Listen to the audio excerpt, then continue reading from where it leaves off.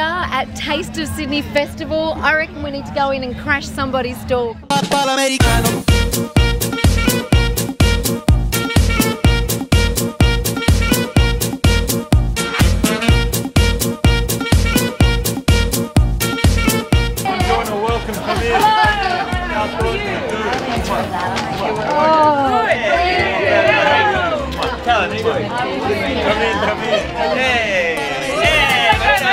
Cherry tomato sugo, we got the balsamic vinegar, we got the, the lemon infused extra virgin olive oil. We're going to be using all of these in Courtney's cooking today. Welcome. I'm excited. We're here at Taste of Sydney and I have the beautiful Courtney Roulston who's always at these events. Courtney, what are you doing here today? Uh, we're doing, of course, in an Italian stand, we're going to do a French inspired dish. Um, we're doing a classic Niçoise style dish, so salmon with a beautiful poached egg, some olives, some radishes. So Marina, this dish is super easy. Anybody can make this. Can I just drizzle? Yeah, drizzle away. I love this. I need Ben at every demo I do just to drizzle some uh, oil for me. You can eat this tuna, we didn't even need to cook it if you didn't want. So you can eat this raw. So we're literally just wanting to get a bit of colour on the outside. Sear it, get it out. Yeah. What inspired you to create this amazing product with Ben Fati? You've got Ben- Ben- amazing products. Thank you, thank you. Benfatti for us is about small families and artisan producers, and I think there's there's a, a real appreciation for small family uh, producers in Australia. So I connected that to my connections in Italy, my family in Italy. They know small producing families, um, olive oil producers, balsamic producers, and I wanted to bring those beautiful things to Australia.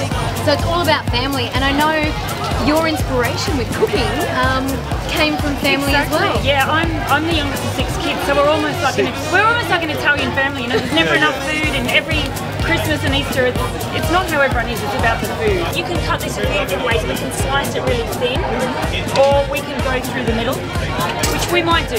So I'm going to actually highlight the fact it's raw. So it is actually raw. It's a raw Yes. piece of tuna. Yeah. But you've only see the outside. See the outside. Typical Niçoise. Um, things like capers, some olives, an egg. We've got some uh, radishes here. This is perfect because your new cookbook, which is called Salad Kitchen, is out. It is. And people can actually pick that up too, and you can pick up all these amazing That's salads. right. And salads don't have to be boring. No, salads do not have to be boring. As I said, just get some colourful things. It doesn't have to be all the things we have here. Whatever colourful things you like. I'm very rustic. We just we throw things on. Yeah. You know, nothing's thought about too much. More oil, more oil. Oil coming, oil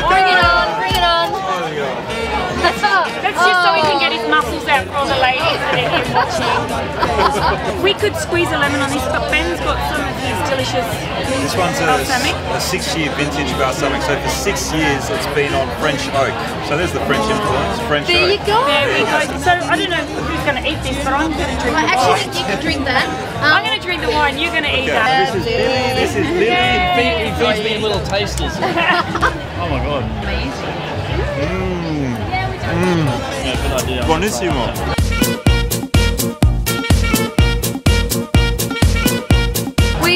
The Taste of Sydney Festival. There is so much going on everywhere.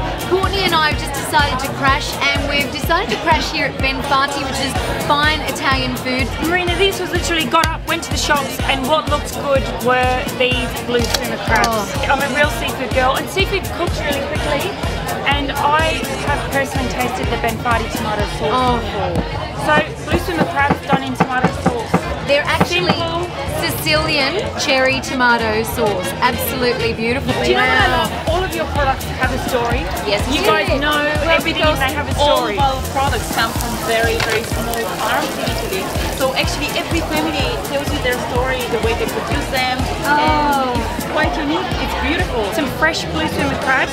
You need to get fresh ones. The way you can tell they're fresh is by their eyes. And of course, they don't smell. They, They don't smell like smell. they smell like seawater. Yeah. First thing you need to do is just get underneath that flap at the back, So it's almost like a battery opening, like yeah, you know. and all you do Flap. is just rip off the head. We can't do an Italian wow. dish without some garlic. Absolutely agree with you. Now it's just a matter of with a, a big sharp knife. Oh. In they go. There you go. We'll call it our Sicilian blue tuna crab.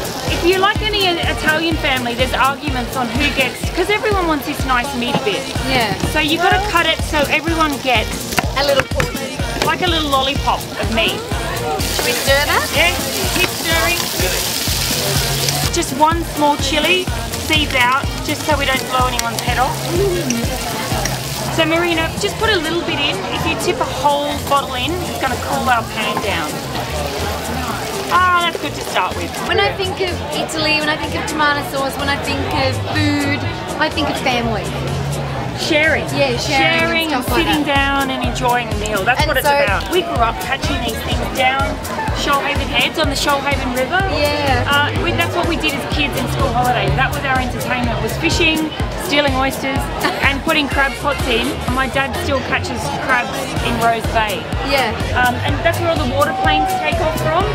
So my dad's the crazy man with his belly out going around in his little dinghy around Rose Bay. Posh people in Catalinas And their big wine bottles. and then there's my dad with his shirt off putting crab pots in out the front of the restaurant. If you see a water plane going through Sydney with crab pots hanging down, Then you know it's Courtney's probably dad. from my dad. So very simple, three or four things, some flavours. Garlic, good oil, good tomato sauce, fresh crab. Beautiful. And tell a few stories along the way. You cook that's coming all that's out. Yes. Salad kitchen. Shallow kitchen, yes. This It's is all about this salads. it. This isn't in it because it's I do have a crab salad in there, and You you, do? you could look. You could let this go cold. I've had plenty of crab the next day when you can't eat it. Yeah. And it's like Chinese or curries. It tastes better the next day. So is it true, because you're from Italy, Yeah. is it true that Italians have a glass of wine with every meal, besides breakfast?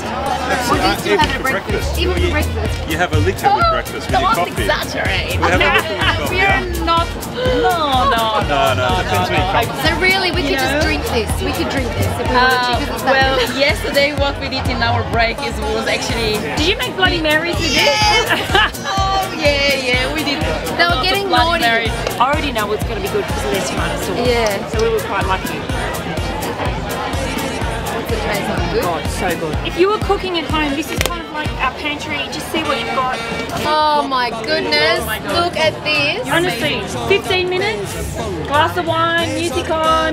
That is amazing. Looks beautiful. None for you, Ben. He can't eat any. So who wants some? Who wants to try? Americano, americano, ma si nati in Italia, me non c'è sta niente fa. Gone in 10 seconds. 20 minutes to cook, 10 seconds to go.